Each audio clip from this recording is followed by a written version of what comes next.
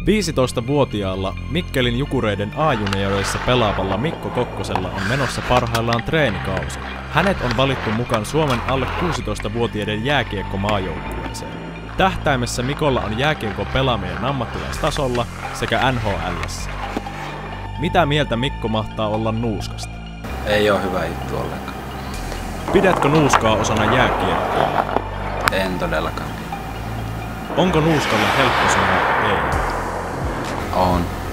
Pussaisitko tyttöä, jolla on nuuska huulessa? En. Nuuska heikentää lihasten verenkiertoa, mikä hidastaa palautumista urheilusuorituksen jälkeen ja lisää liikuntavammojen vaaraa. Nikotiini vähentää lihasvoimaa ja massaa, koska lihasten hapen ja ravintoaineiden saanti huononee. Nikotiini myös nostaa verenpainetta ja sydämen sykettä, jolloin sydän rasittuu normaalia enemmän. Jos käytät nuuskaa, anna turhaa tasoitusta muille urheilussa.